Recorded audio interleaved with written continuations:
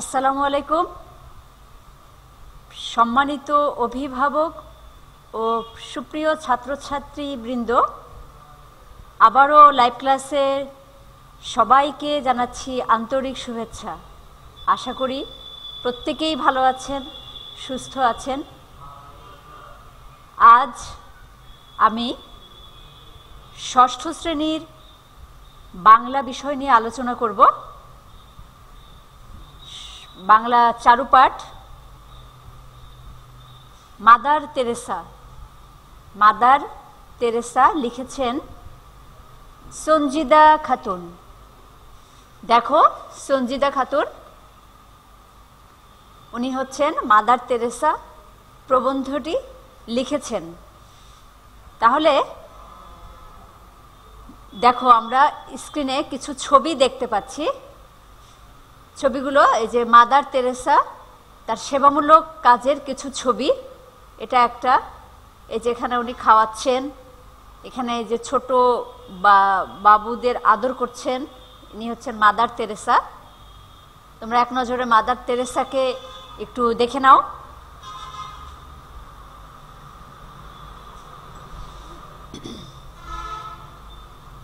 এরপর mother Teresa সম্পর্কে আমরা একটু দেখে নিব যে মাদার তেরেসা জন্ম উনিশশো দশ সালের ছাব্বিশে আগস্ট আলবেনিয়ার স্কোপিয়েতে তোমরা যদি তোমাদের পাঠ্য বই পড়ে থাকো, চারুপাঠ, তাহলে ওখানে দেওয়া আছে মাদার তেরেসার জন্ম উনিশশো দশ সালের ছাব্বিশে আগস্ট আলবেনিয়ার স্কোপিয়েতে দেখি উনি কি কি করেছেন। উনিশশো আঠাশ সালে আঠারো বছর বয়সে লরেটো সিস্টার্স নামে খ্রিস্টান মিশনারি দলে যোগ দেন। আমরা আরেকটু দেখে নেই, উনিশশো আঠাশ সালে আঠারো বছর বয়সে লরেটো সিস্টার্স নামে খ্রিস্টান মিশনারি দলে যোগ দেন। এরপর দেখো উনিশশো আটচল্লিশ সাল। উনিশশো আটচল্লিশ সালে উনি কি করেন? গরিবদের সেবার কাজে নিয়োজিত হন। আটচল্লিশ সালে গরিবদের সেবার কাজে নিয়োজিত হন। উনিশশো পঞ্চাশ সালে মিশনারিজ অব চ্যারিটি প্রতিষ্ঠা করেন। উনিশশো পঞ্চাশ সালে মিশনারিজ অব চ্যারিটি প্রতিষ্ঠা করেন। তাহলে আমরা আরেকবার দেখে নেই। ওনার জন্ম উনিশশো দশ সালে, ছাব্বিশে আগস্ট, আলবেনিয়ার স্কোপিয়েতে তারপর উনিশশো আটাশ সালে, আঠারো বছর বয়সে লরেটো সিস্টার্স নামে খ্রিস্টান মিশনারি দলে যোগ দেন। এরপর উনিশশো আটচল্লিশ সালে গরিবদের সেবার কাজে নিয়োজিত হন। উনিশশো পঞ্চাশ সালে মিশনারিজ অব চ্যারিটি প্রতিষ্ঠা করেন। তোমরা প্রত্যেকেই খাতা কলম নিয়ে লিখে নাও, আমি দুইবার করে বলছি। খাতা কলম রেডি করো, কিছু কিছু হচ্ছে অ্যাড আছে মানে আমি নিজেই যুক্ত করেছি, আর কিছু আর বেশিরভাগই তোমাদের বই থেকে নেওয়া। এজন্য তোমরা খাতা কলম বের করে লিখে নাও, আমি দুইবার করে তোমাদের পড়ে শোনাচ্ছি। এরপর দেখো, উনিশশো বায়ান্ন সালে উনি কলকাতার কালীঘাটে নির্মল হৃদয় নামে এক ভবন প্রতিষ্ঠা করেন। উনিশশো একাত্তর সালে বাংলাদেশের মুক্তিযুদ্ধকালে এক কোটি লোক ভারতে আশ্রয় নিয়েছিল। সে সময় বিভিন্ন শিবির স্থাপন করা হয়। সেসব শিবিরের দুর্গত মানুষের সেবার কাজ করেন এই মাদার তেরেসা। তাহলে আবার একটু দেখে নেই যে উনিশশো বায়ান্ন সালে কলকাতার কালীঘাটে নির্মল হৃদয় নামে এক ভবন প্রতিষ্ঠা করেন। আর উনিশশো একাত্তর সালে যখন বাংলাদেশে মুক্তিযুদ্ধ হয়, তখন বাংলাদেশের এক কোটি লোক ভারতে আশ্রয় নিয়েছিল। সে সময় ভারতে আর যে শিবির স্থাপন করা হয়েছিল, সেই শিবিরের দুর্গত মানুষের সেবার কাজে সেবার কাজ করেন মাদার তেরেসা। দেখো, উনিশশো বাহাত্তর সালে তিনি প্রথম ঢাকায় আসেন। উনিশশো বাহাত্তর সালে তিনি প্রথম ঢাকায় আসেন। উনিশশো উনআশি সালে শান্তিতে নোবেল পুরস্কার পান কে? মাদার তেরেসা উনিশশো সালে শান্তিতে নোবেল পুরস্কার পান। উনিশশো একানব্বই সালে তোমরা হয়তো অতটা জানবে না, উনিশশো একানব্বই সালে প্রচণ্ড ঘূর্ণিঝড় হয় বাংলাদেশে। সেই সময় মাদার তেরেসা ঘূর্ণিঝড়ের পরে বাংলাদেশে ছুটে আসেন। সে সময় কিন্তু তার বয়স ছিল একাশি বছর। তাহলে দেখো আমি আবার পড়ে শোনাচ্ছি। উনিশশো একানব্বই সালে প্রচণ্ড ঘূর্ণিঝড়ের পর মাদার তেরেসা বাংলাদেশে ছুটে আসেন।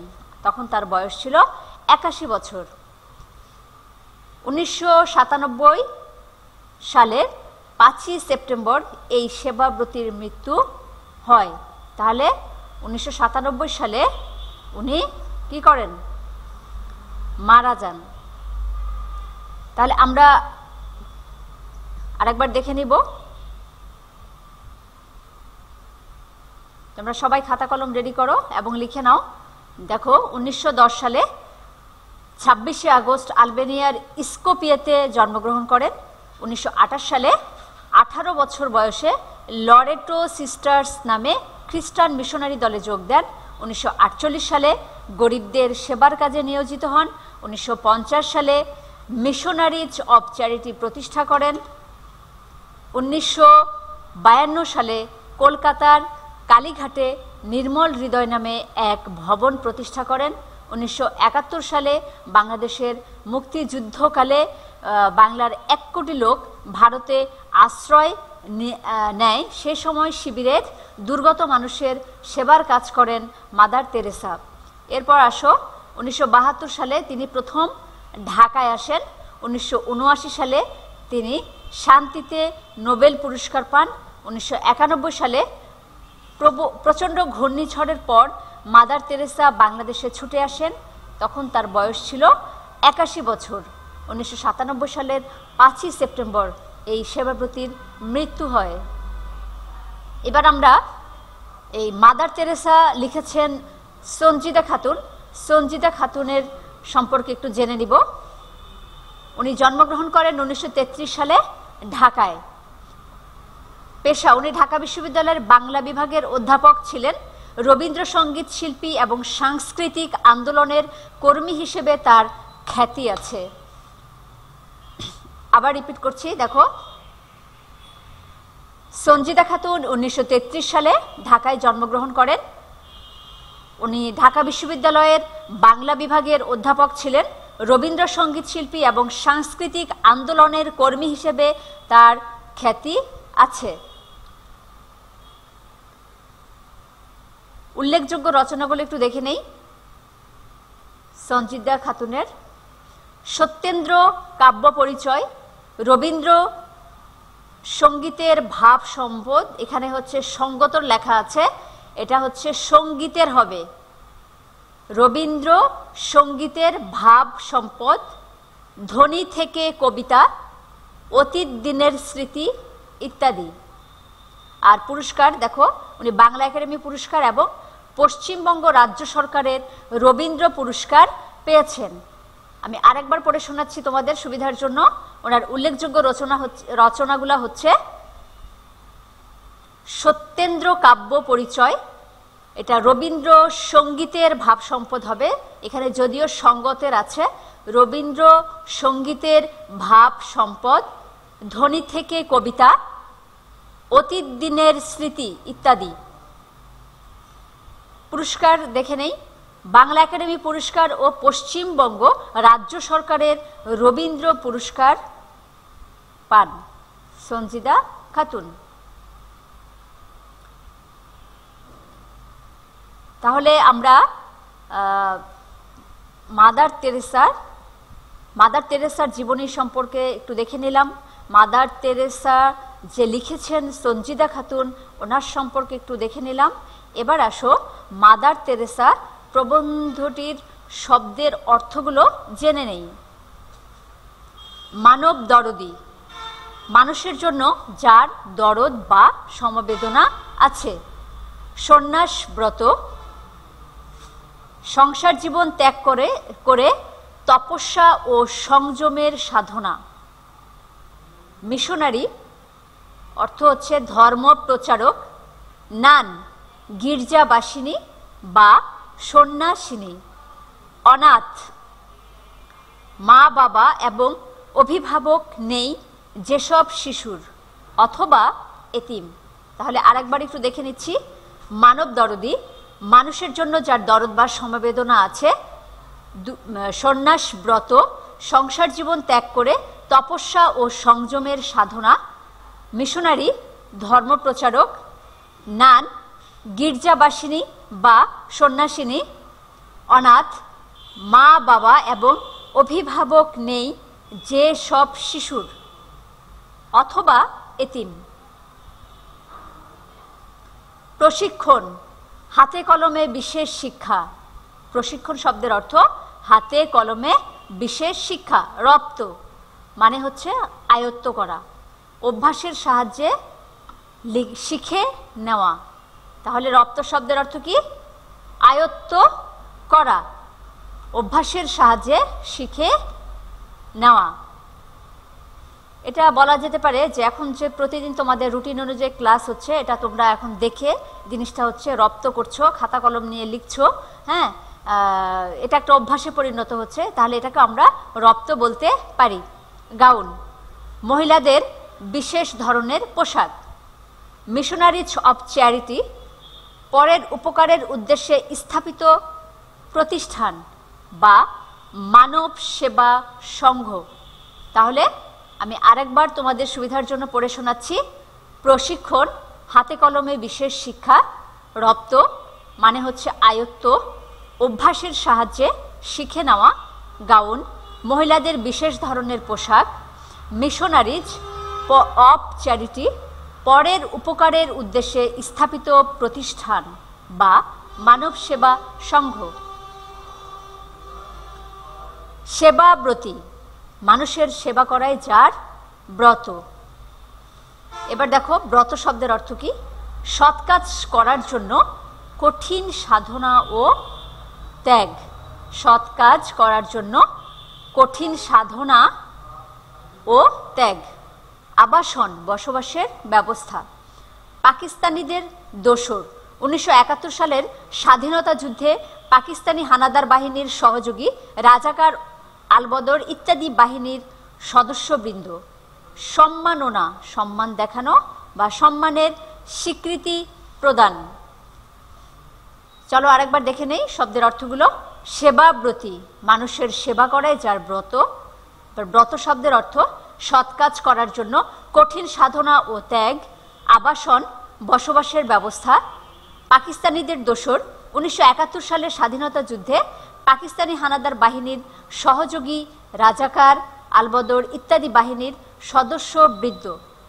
সম্মাননা, সম্মান দেখানো বা সম্মানের স্বীকৃতি প্রদান। তাহলে আমরা এতক্ষণ শব্দের অর্থগুলো দেখে নিলাম, এখন আমরা চলে যাব যে মাদার তেরেসা প্রবন্ধটি পাঠের উদ্দেশ্য কি? বা সঞ্জিদা খাতুন এই মাদার মাদার তেরেসা প্রবন্ধটি কেন লিখেছেন? তার উদ্দেশ্যটা আমরা একটু দেখে নিচ্ছি। নারী ও নারীর কর্মের প্রতি শ্রদ্ধাবোধ জাগিয়ে তোলা, গরিব ও দুঃখী মানুষের সেবার প্রতি আগ্রহী করে তোলা। তাহলে পাঠের উদ্দেশ্য কি? নারী ও নারীর কর্মের প্রতি শ্রদ্ধাবোধ জাগিয়ে তোলা। গরিব ও দুঃখী মানুষের সেবার প্রতি আগ্রহী করে তোলা। এখন আমরা, দেখো, আমি চলে যাচ্ছি মূল বক্তব্যতে। মানে মাদার তেরেসা প্রবন্ধটিতে কি তুলে ধরা হয়েছে সেটি একটু পড়ে শোনাবো। মাদার তেরেসা ছিলেন একজন অসাধারণ মানবসেবী। বাংলাদেশ থেকে শুরু করে সমস্ত পৃথিবী জুড়েই তার সেবা প্রতিষ্ঠান গড়ে উঠেছে, যেখানে দুঃখ, দারিদ্র, অসহ, অসহায়ত্ব, প্রাকৃতিক দুর্যোগ, সেইখানেই সেবার হাত বাড়িয়ে দিয়েছেন মাদার তেরেসা। সেবাব্রত নিয়েই তিনি সারা জীবন ব্যস্ত থেকেছেন, বাংলার মানুষের জন্য তার বিশেষ দরদ ছিল। আবার একটু দেখে নেই, মাদার তেরেসা ছিলেন একজন অসাধারণ মানবসেবী বাংলাদেশ থেকে শুরু করে সমস্ত পৃথিবী জুড়েই তার সেবা প্রতিষ্ঠান গড়ে উঠেছে, যেখানে দুঃখ দারিদ্র অসহায়ত্ব, প্রাকৃতিক দুর্যোগ সেখানেই সেবার হাত বাড়িয়ে দিয়েছেন মাদার তেরেসা সেবাব্রত নিয়েই তিনি সারা জীবন ব্যস্ত থেকেছেন। বাংলার মানুষের জন্য তার বিশেষ দরদ ছিল। তাই বহু মানবসেবী প্রতিষ্ঠান গড়ে তুলে তিনি বাঙালির জীবনকে শান্তিতে ভরে তোলার চেষ্টা করেছেন। শান্তির এই সাধককে শ্রদ্ধা জানিয়েছেন সমস্ত পৃথিবী। নোবেল পুরস্কারের মতো বড় পুরস্কারও তিনি অর্জন করেছেন। জীবনের যত পুরস্কার তিনি পেয়েছেন, তার সমস্ত অর্থই খরচ করেছেন মানব সেবার কাজে। আমি আবার পড়ছি তোমরা একটু মনোযোগ দিয়ে শোনো, তাহলেই তোমরা বুঝতে পারবে যে মাদার তেরেসা কি ছিলেন। তাই বহু মানবসেবী প্রতিষ্ঠান গড়ে তুলে তিনি বাঙালির জীবনকে শান্তিতে ভরে তোলার চেষ্টা করেছেন। শান্তির এই সাধককে শ্রদ্ধা জানিয়েছেন সমস্ত পৃথিবী। নোবেল পুরস্কারের মতো বড় পুরস্কারও তিনি অর্জন করেছেন। জীবনের যত পুরস্কার তিনি পেয়েছেন, তার সমস্ত অর্থই খরচ করেছেন মানব সেবার কাজে।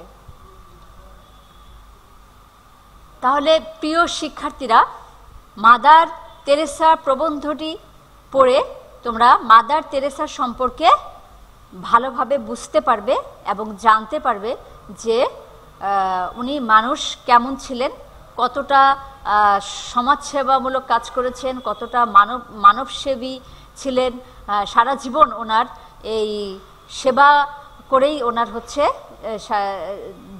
সারা জীবনটা সেবা করেই চলে গেছে। আর উনি যে পুরস্কারগুলো পেয়েছিলেন সেই পুরস্কারের বেশিরভাগই উনি কি করেছেন? গরিব মানুষদের বা সেবার কাজে নিয়োগ করেছেন। তোমরা ভালো করে প্রবন্ধটি পড়বে এবং এই তোমাদের জন্য কিছু জ্ঞানমূলক প্রশ্ন লিখে রেখেছি, সেগুলোর উত্তর দিবে। তাহলে চলো আমরা জ্ঞানমূলক প্রশ্নগুলো একটু দেখে নেই। এক নম্বর প্রশ্ন, মাদার তেরেসা কোথায় জন্মগ্রহণ করেন? দুই নম্বর, মাদার তেরেসা কবে জন্মগ্রহণ করেন? তিন নম্বর, মাদার তেরেসার পারিবারিক নাম কি? চার নম্বর, অ্যাগনেসের সন্ন্যাস ব্রত গ্রহণের পর নাম কি হলো? অ্যাগনেসের সন্ন্যাস ব্রত গ্রহণের পর নাম কি হলো? পাঁচ নম্বর, মাদার তেরেসা কোন খ্রিস্টান মিশনারিতে যোগ দেন? তাহলে চলো আরেকবার দেখে নেই।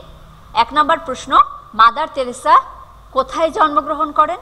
দুই নম্বর প্রশ্ন, মাদার তেরেসা কবে জন্মগ্রহণ করেন? তিন নম্বর প্রশ্ন, মাদার তেরেসার পারিবারিক নাম কি? চার নম্বর প্রশ্ন, অ্যাগনেসের সন্ন্যাস ব্রত গ্রহণের পর নাম কি হলো? পাঁচ নম্বর, মাদার তেরেসা কোন খ্রিস্টান মিশনারিতে যোগ দেন? এবার আমরা নেক্সট প্রশ্নে চলে যাচ্ছি। দেখো, কত বছর বয়সে মাদার তেরেসা লরেটো সিস্টার্স এ যোগ দেন? সাত নম্বর প্রশ্ন, মাদার তেরেসার এখানে হচ্ছে র হবে, মাদার তেরেসার ব্যবহারের জন্য কয়টি শাড়ি ছিল? আট নম্বর, মাদার তেরেসা মানব সেবার জন্য যে সংঘ গড়ে তুলেছিলেন তার নাম কি? নয় নম্বর প্রশ্ন, মাদার তেরেসা প্রেম নিবাস কাদের জন্য প্রতিষ্ঠা করেন? দশ নম্বর প্রশ্ন, মাদার তেরেসা প্রথমে কবে ঢাকায় আসেন? তাহলে প্রিয় শিক্ষার্থীরা, আমরা আরেকবার একটু দেখে নেই। কত বছর বয়সে মাদার তেরেসা লরেটো সিস্টার্স এ যোগ দেন। সাত, মাদার তেরেসার ব্যবহারের জন্য কয়টি শাড়ি ছিল? আট, মাদার তেরেসা মানব সেবার জন্য যে সংঘ গড়ে তুলেছিলেন তার নাম কি? নয়, মাদার তেরেসা প্রেম নিবাস কাদের জন্য প্রতিষ্ঠা করেন? দশ, মাদার তেরেসা প্রথমে কবে ঢাকায় আসেন? কি লিখে নিয়েছ সবাই? তাহলে কি আমরা অনুধাবনমূলক প্রশ্নে চলে যাব? আচ্ছা ঠিক আছে। তাহলে আমরা চলে যাচ্ছি অনুধাবনমূলক প্রশ্নে। দেখো, এক নম্বর প্রশ্ন। মিশনারিজ অফ চ্যারিটি কীভাবে গড়ে ওঠে? দুই নম্বর প্রশ্ন। মাদার তেরেসা নবজীবন আবাস স্থাপন করেন কেন? তিন নম্বর প্রশ্ন। তাই সব দেশের সব ধর্মের মানুষের ভালোবাসা তিনি পেয়েছেন। কথাটি বুঝিয়ে লেখো। চার নম্বর, মানুষের মনে তিনি বেঁচে থাকবেন চিরকাল। কথাটি বুঝিয়ে লেখো। অ্যাগনেস গঞ্জা বোজা ঝিউ এর নাম মাদার তেরেসা হলো কেন? আমি আবার পড়ে শোনাচ্ছি। প্রশ্ন এক মিশনারিজ অফ চ্যারিটি কীভাবে গড়ে ওঠে? দুই, মাদার তেরেসা নবজীবন আবাস স্থাপন করেন কেন? তিন, তাই সব দেশের, সব ধর্মের মানুষের ভালোবাসা তিনি পেয়েছেন। কথাটি বুঝিয়ে লেখো। চার, মানুষের মনে তিনি বেঁচে থাকবেন চিরকাল। কথাটি বুঝিয়ে লেখো। পাঁচ, অ্যাগনেস গঞ্জা বোজা ঝিউ। এর নাম মাদার তেরেসা হলো কেন? এবার আমি একটা উদ্দীপক লেখে লিখে নিয়ে এখানে হচ্ছে দিয়েছি, দেখো। এটি তোমাদের বইতে আছে, তোমরা বইটি খুললেই পাবে। তারপরেও আমি উদ্দীপকটি একটু দিয়েছি তোমাদের বোঝার সুবিধার জন্য। দেখো উদ্দীপকটি, আমি একটু পড়ে শোনাচ্ছি। আব্দুল মজিদ মাস্টারের অর্থ সম্পদ তেমন নেই, কিন্তু অন্যের উপকার করে তিনি খুব আনন্দ পান। এলাকার গরিবদের বিভিন্ন সমস্যার সমাধানের জন্য মজিদ মাস্টার নিজে কিছু টাকা দিয়ে এবং অন্যদের সহযোগিতায় একটি ফান্ড গঠন করেন। এতে হত দরিদ্র পরিবারের ছেলে মেয়েদের বিয়ে থেকে শুরু করে পড়াশোনার খরচ ও দাফন কাফনের কাজও চলতে থাকে। আমরা আরেকবার একটু দেখে নেই উদ্দীপকটি। আব্দুল মজিদ মাস্টারের অর্থ সম্পদ তেমন নেই, কিন্তু অন্যের উপকার করে তিনি খুব আনন্দ পান। এলাকার গরিবদের বিভিন্ন সমস্যা সমাধানের জন্য মজিদ মাস্টার নিজে কিছু টাকা দিয়ে এবং অন্যদের সহযোগিতায় একটি ফান্ড গঠন করেন।